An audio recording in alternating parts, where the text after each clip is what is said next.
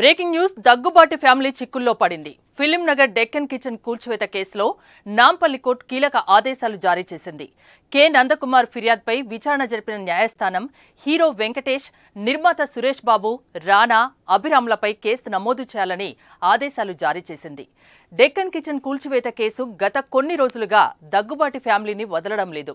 నందకుమార్ గతంలో దగ్గుబాటి ఫ్యామిలీ తనని మోసం చేసిందని కోర్టుకెక్కారు. గజం కేవలం పదిహేను వేల ఐదు వందల రూపాయలతో నూట యాభై గజాల భూమి కేవలం ఇరవై మూడు లక్షలు మాత్రమే. తనకు లీజ్కిచ్చిన భూమిని తనతో పాటు ఇంకొకరికి కూడా అగ్రిమెంట్ చేసి సురేష్ బాబు వెంకటేష్ మోసం చేశారని కోర్టు ఆదేశాల్ని కూడా లెక్క చేయకుండా రాణాపేట రిజిస్ట్రేషన్ చేశారని అప్పట్లో ఆరోపణలు చేశారు. అదేవిధంగా లీజు విషయంలో తనకు కోర్టు ఆదేశాలు ఉన్నప్పటికీ అక్రమంగా కూల్చివేశారని ఫిర్యాదులో ప్రస్తావించారు.